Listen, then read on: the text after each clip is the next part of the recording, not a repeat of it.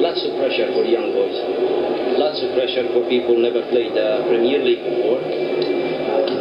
We added some applications to the midfield. We added some applications on the defense side, off the ball, on the ball, transition, and it paid off today.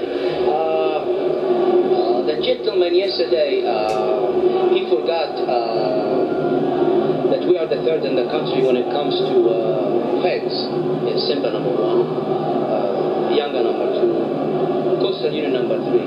So I was hoping for him to show some respect, and he mentioned also that he's going to give us so many goals. I wonder maybe he was talking about Mitigua. I don't know. So today he did a good job. We did a good job. It's okay. It's okay. The league is still still going. Maswali kwa mwalimu. Yes.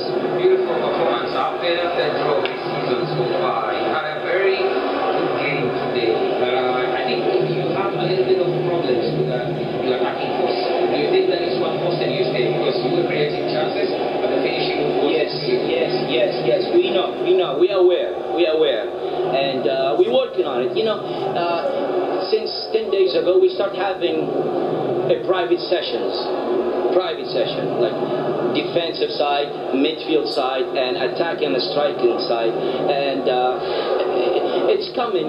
Look, look. With all honesty, with all honesty, this is a brand new team. Everybody here should be proud of. We collected this. Some of these players, remember, coming from Ndondo. The this is Tanzanian talent that people don't want to see. Now all of a sudden, you see them in a stadium with the largest club in the country fighting to the last minute. So I, I think they did a good job. Now, to back to your point, to the attacking side, yes, we are aware. We're trying to fix that. Our problem is that we create, we just don't capitalize. We're trying to find a way to to cross that line. That's what we're trying to do. Uh, you know, I'm glad you guys enjoyed the game.